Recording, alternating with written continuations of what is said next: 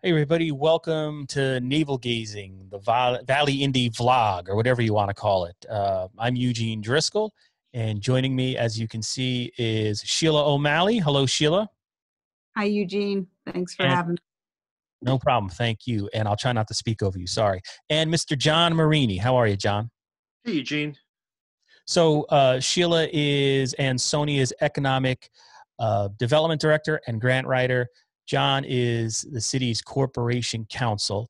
And I don't have a specific agenda that uh, I have for this particular interview. Uh, I have a couple of general questions uh, I'd like to ask, but it's really uh, an effort to try to uh, connect City Hall to the residents. Not that you guys haven't been doing uh, great job of that on the city's Facebook page and beyond. But uh, anyway, you know what I mean. So I, I, guess the first thing I would ask about, and I don't know who wants to answer. Perhaps you could raise your hand virtually. Uh, the I, I, I haven't followed it. I don't know what it's about exactly. Uh, the Riverwalk is it open? Is it closed? Or is part of it closed? Is it going to close tomorrow? Uh, what's going on with Ansonia's Riverwalk? So the mayor gave an order uh, yesterday, Sunday, to close the Ansonia portion of the Riverwalk. That was after a lot of deliberation and even discussion with Derby. And ultimately, the mayor wanted to err on the side of caution here. You know, he'd seen some traffic developing uh, at the Riverwalk, some social interaction, and essentially, you know, he's he wants to err on the side of caution and safety. He's concerned that any social interaction could make this problem worse as, as we start to move into the next critical couple of weeks here and uh, made that call essentially to to stop uh, to stop the entrance uh, to block the entrance to the Riverwalk. Okay, so the entire length of the Ansonia side of the Riverwalk is closed. Yes. Is there markings? If because of course one thing that is happening uh, as COVID 19 spreads and we're all told to stay home, to stay safe, people want to go walking, go walk into the woods. Not me, I never was into any of that, but uh, a lot of people are doing that at the same time. And uh, as we've seen in the state parks, they're being filled to capacity, although that's 50% of what it normally is. Uh, so, what's going to happen if someone goes to the Riverwalk and uh, you know isn't aware of what the city is doing and didn't watch this uh, video podcast? How are you going to stop them from going on that property. I think there's physical uh, markings at the entrance. So Public Works was advised to put up some signage, possibly a barricade. Uh, if someone is walking in that area and the police observe it, I'm sure they'll give them a friendly reminder. Um, and again, walking, of course, is encouraged. Uh, the city and the mayor simply don't want to see gatherings in areas where really uh, it's difficult for the city to observe what's happening you know and, and, certainly on the length of the riverwalk it's very difficult to fight, figure out what's happening on that walkway without walking up the riverwalk. Same thing with any of the parks. Um, so we, we just want to make sure we have a good idea of what's happening and to make sure no one's putting themselves in a dangerous position and was were you getting more people than usual on the Riverwalk? I mean, one thing that uh, I'm experiencing, I'm essentially in my basement all day, uh, and then on Facebook uh, when I'm, I'm, I'm sequestered and sequestered. Yeah, you know what I mean. Uh, so I, I, I don't have an idea of what's happening on the Riverwalk. Was were there more people than usual? I was seeing reports on Facebook saying so, but did somebody actually go and check it out before the decision was made? That's the reports that, that we would get uh, in the last couple of weeks were some games of basketball happening on the courts, excess traffic on the Riverwalk. And again, when you're dealing with traffic in an isolated area, there's that concern that came up as to whether or not folks were following those precautions to stay six feet or more apart from each other. Um, and essentially, again, it's erring on the side of caution and just making sure that um, the public is not uh, assembling in a way that would violate those uh, those safety precautions. And is there a time where the city, Sheila has her, her hand up. She actually does. I'm sorry, Sheila. I'm sitting here. I don't know where to look because if I look look down here, it looks like I'm being rude. But go ahead, Sheila. I'm sorry. I wanted to add that you know the the particular difficulty with the Riverwalk is that it's not six feet wide. So in order to pass somebody, you are not going to be able to keep that six foot distance, and that's I guess you know the main problem. Okay. Uh, then, in terms of the other place uh, I wanted to ask you about uh, the grocery stores. You know, you have the uh, stop and shop uh, in uh, Ansonia, and people need to be there uh, to get food. Does the city go in and? Sh- I mean, actually, all of this is really the jurisdiction of the Naugatuck Valley Health District, I assume. They're obviously doing things that they uh, wouldn't normally do because there's a pandemic going on. But does the city have any involvement of checking that, making sure there's not too many people going into a supermarket, that there's some type of social distancing happening there? Because that's another thing you read a lot on social media that I went to the store and uh, too many people too close to me. So the, I believe the city would respond to complaints if they're given. We've certainly have responded to complaints about some businesses being open that say residents didn't feel were essential. Uh, I believe the operation of a gym in one case, a car wash in another. So the officers will go out to investigate the situation, make sure that it's not in violation of any protocols put out by the state. But in terms of that level of depth, we're essentially depending on the private businesses to follow the rules to safeguard their patrons and, of course, each other. Uh, and one thing to complement uh, the city of Ansonia, some of the updates that the city has sent out through its emergency operations center have really been uh, above and beyond. I mean, these lists have everything from where you can get takeout to, uh, and I'm getting some feedback from one of you. I might have to mute you there. Is that Sheila? Who's, uh, oh, yeah, I was getting some feedback from something. But uh, anyway, I just wanted to say that uh, the city's done a good job there. And uh, to that point, uh, tomorrow night there is a meeting uh, that's going to be on Zoom as well. Does someone want to tell me what uh, that is about?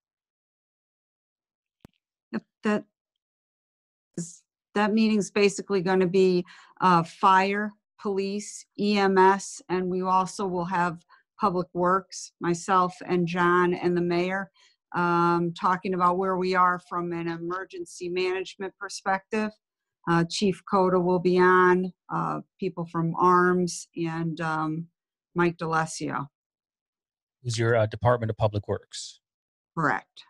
Okay. And is that going to be a, a, a Q&A? Uh, what types of, uh, are there specific questions that the public keeps asking uh, over and over again that will get answered tomorrow night?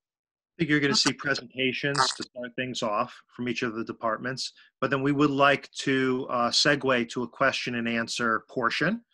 Uh, you know, on Zoom, it's a little awkward sometimes dealing with that, but we're going to see how how we could use it to that end. We certainly want more public participation.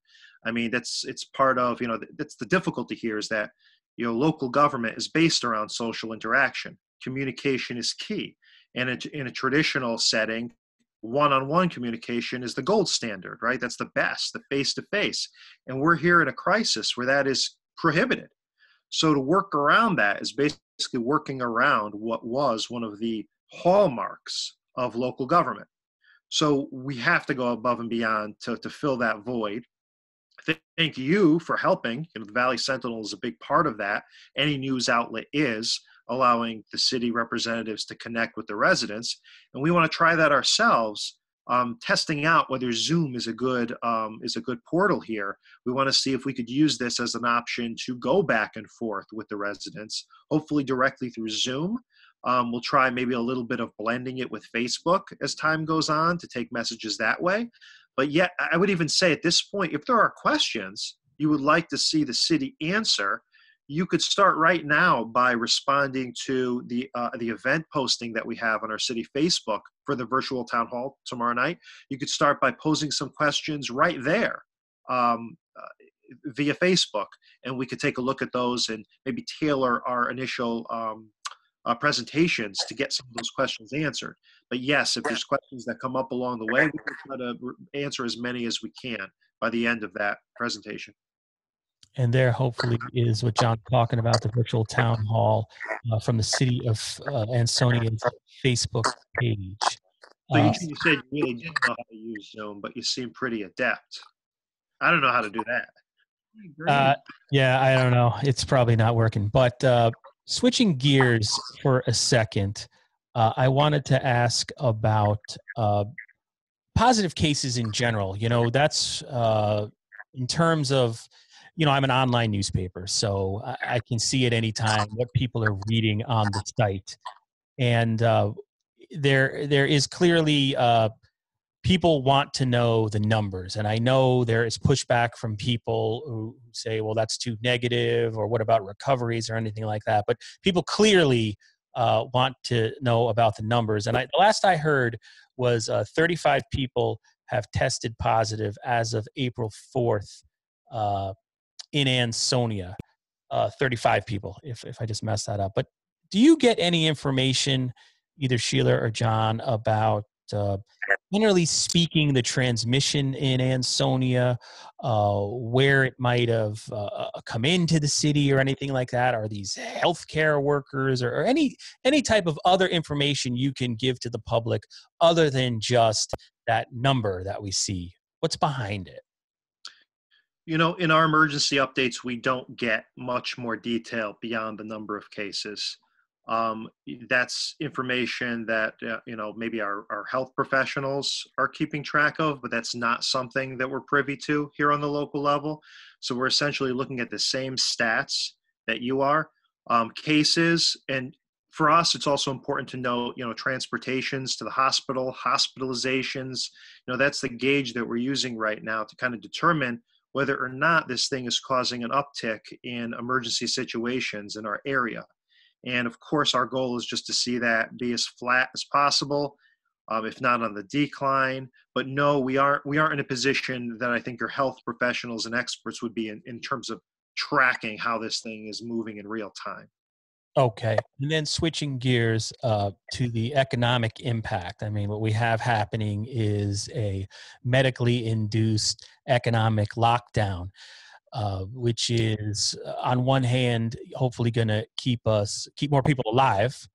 Uh, on the other hand, it's very tough for small businesses to handle. Uh, and Ansonia has had this resurgence in the last 11 years that I've been associated with the city in some small way. Businesses on Main Street, uh, more activity and nightlife on Main Street, undeniable uh, what's happened in the city of Ansonia. and now those businesses need help. So, what are some of the ways the city is trying to act as a conduit uh, between the businesses that are being impacted and the help that might be available? All right. So, I guess the first uh, first way that we can be helpful, and the best way, is to get the information out there because there's a lot of programs both on the federal side of things, more so on the federal side, um, to help businesses, and in particular, the U.S. Small Business Administration has some very helpful programs uh, for our small businesses.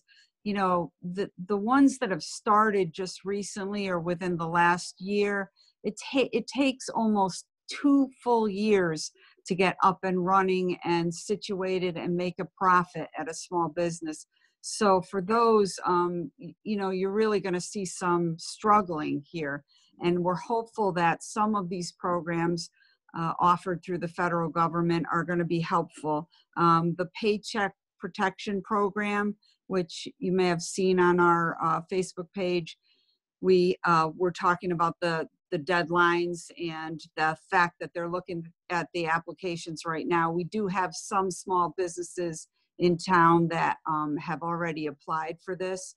That's um, pay, Paycheck Protection Program um, is a loan um, through some of the various banks that are participating. I know People's Bank, for instance, is one of the lenders, but um, that allows you to keep people on the payroll for a certain num- period of time. Um, and then you you may not have to pay back that loan if you keep those people um, for an extended period of time. And it could be used for payroll, for operations. So it's a good pool of money, and um, it's a good program right now that um, the federal government is offering. So hopefully, we'll see more people taking part in that. But you know, again, I want them to know that they they can always feel free to call me or John or the mayor. Our um, our information is out there. Um, we're happy to assist, um, answer questions, or assist with applications. Yeah, that's that was going to be my next question. How do people uh, find out about this? And it just seems there is so much information out there. It's almost like there's a information uh, overload overload to some extent. But again, the city sent out, uh, Ansonia sent out a a list of resources, which was I think had everything on there. I hadn't I hadn't seen there seen a list like that uh, anywhere else. Uh, so Facebook or, or Sheila, what's your phone number or email or whatever, whatever you wanted to give out where people can contact you? Both. It's um, S O M A L L E Y at ansoniact.org. And my cell is 203 437 1598. Much better with text than email. Okay. How about uh, in terms of impact that you've seen so far? Uh, I know just uh, in Derby, Archie Moore's closed its doors, at least temporarily, unofficially. But Mhm. that was something that was sort of in the works before COVID shut everything down. Uh, what businesses in Ansonia so far, uh, or a number, have closed temporarily? What's the impact uh, so far in Ansonia? I mean, we're not hearing a lot. I know Relish closed temporarily, I hope, but that's one of the businesses, the restaurants that have just recently opened. So we're hoping that's just temporary. Um, I hope it is. Uh, they've been very helpful, donating a lot of food to our uh, EMS and um, public safety folks. So we're very grateful to them for that. Um, I, I don't think we're seeing all of it right now, Eugene. You know, we're just beginning to see some effects. I'm getting some calls from businesses inquiring about the programs. Um, we have, uh, for instance, Farrel Corporation uh, is an essential business, and they're they are 100% fully um, operating, operational. Um, they're all working from home, but they're uh, designated essential, so they're working uh, continuing to work. Some of our manufacturers are continuing to work on a on a um, skeleton crew type schedule.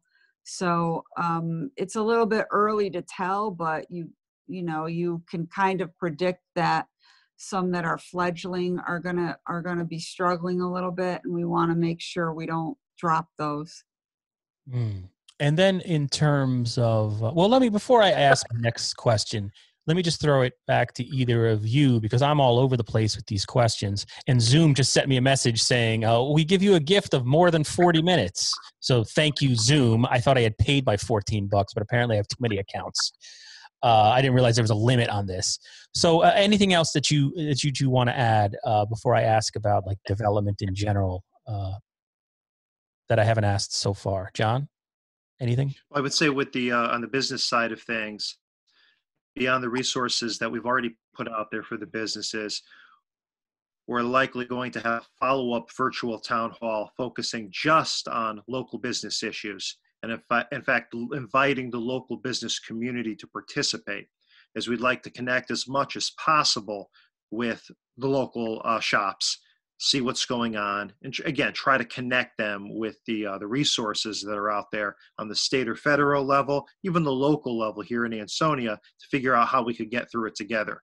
As you pointed out, there's been a big resurgence of economic activity, and we see ourselves on the same team as our Ansonia businesses. You know, we want to weather this together.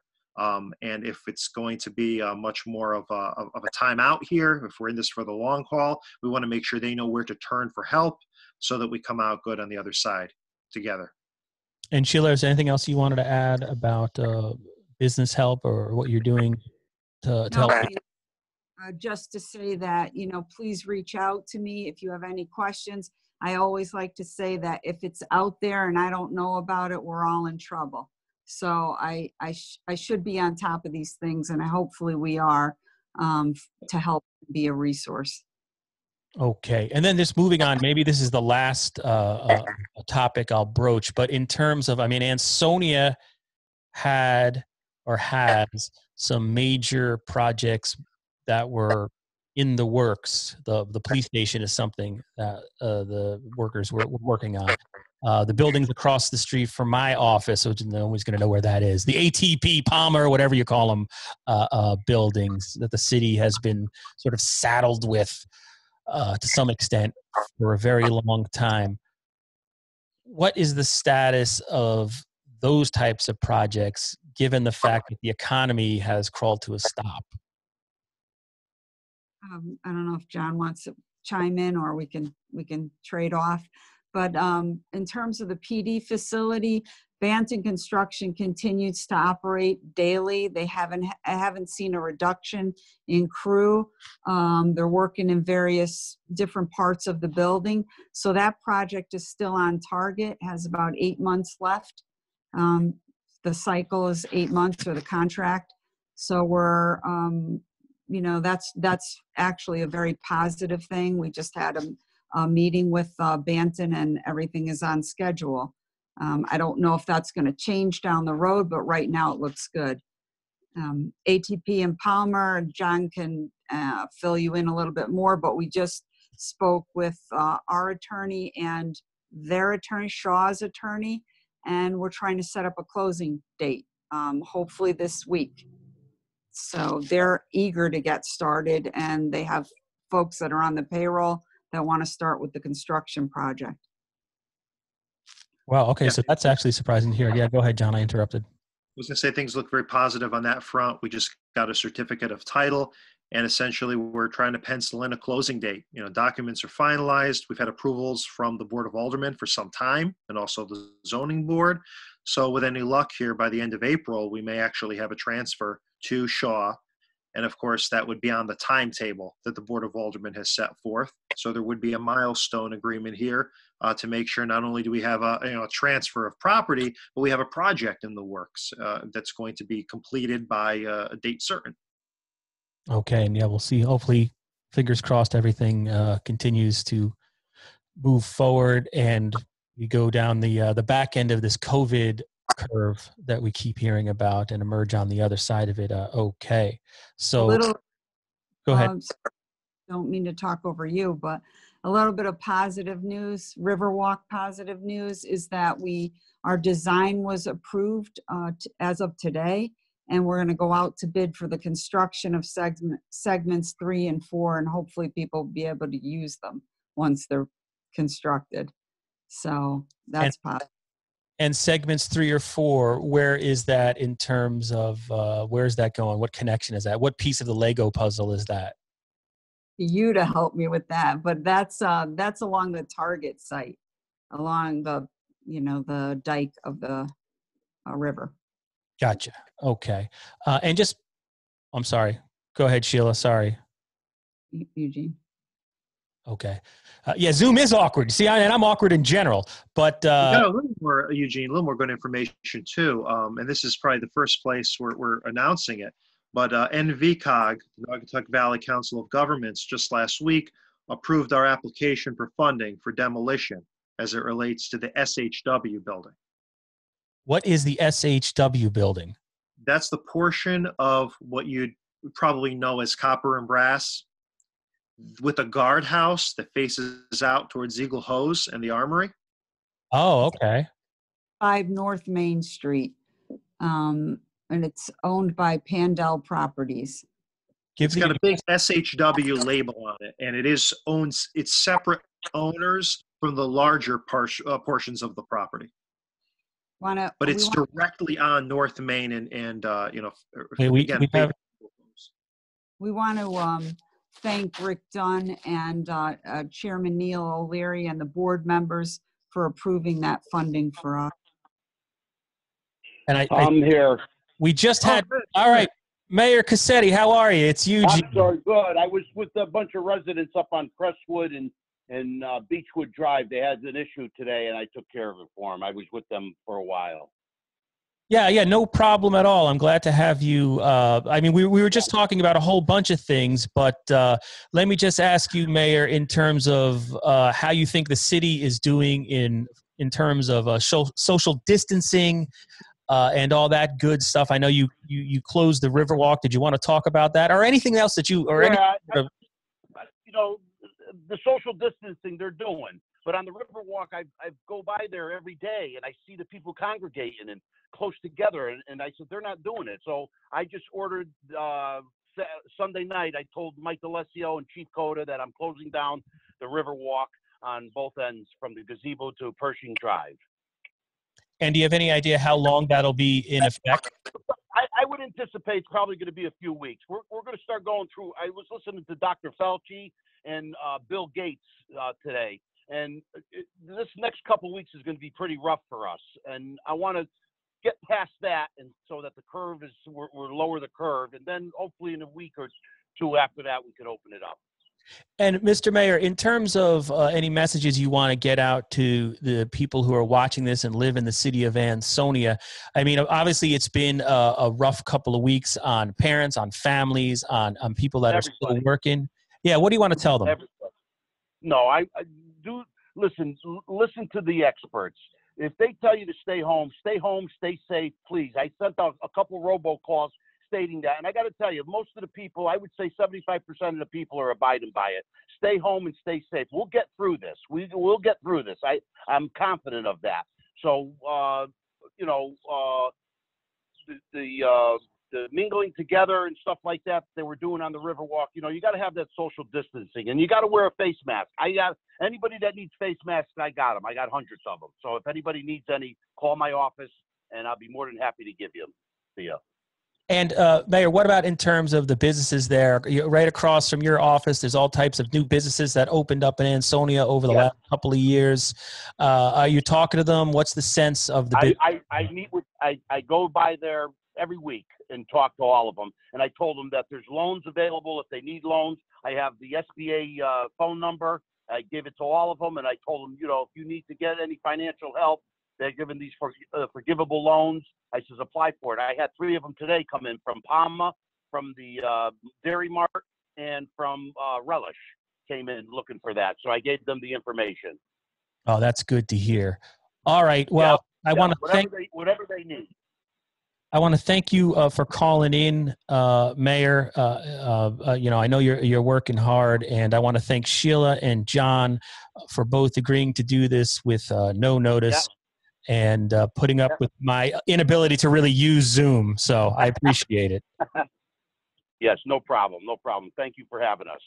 All right, guys, take care. Thank you. All right. Stay, stay safe. Bye bye.